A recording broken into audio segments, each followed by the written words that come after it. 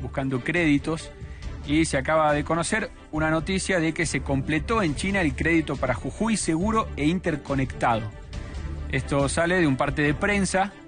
de la Casa de Gobierno que dicen, dicen que el gobierno junto al Ministerio de Hacienda de la Nación y autoridades de un banco de Hong Kong firmaron esta tarde la contragarantía por el contrato de ejecución del proyecto Jujuy seguro e interconectado.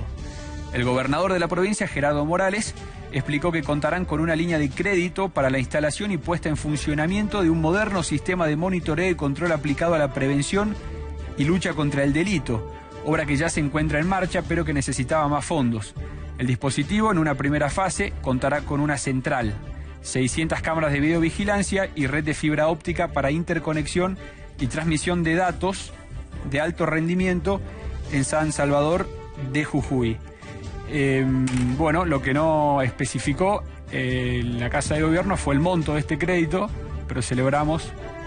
la victoria, por así llamarlo, de la, de la delegación jujeña en China, que se encontrará varios días más allá.